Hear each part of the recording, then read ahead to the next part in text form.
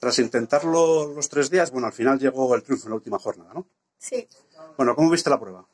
Eh, pues ha sido una prueba muy divertida y muy chula. ¿De dónde crees que estuvo la clave para hacer el mejor tiempo?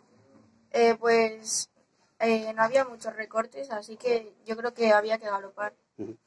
Eh, ¿Qué pruebas vas a correr hoy? Eh, voy a correr con Chantré Metro 30 y con DATS el Gran Premio. Bueno, ¿el objetivo es ganar alguna prueba más? Eh, pues voy a intentarlo con Chantré y con DATS también. Luego, ¿qué planes tienes para lo que queda de temporada? Eh, pues correré el Princesa y me imagino que la Horse Week y Casas Novas también. Tras haber hecho un buen campeonato de España, ahora el próximo gran reto de la temporada es también hacer un buen Princesa de Asturias. Sí.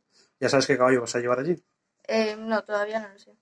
Bueno, ¿y qué balance haces de esta temporada ya que entramos ya en la parte final?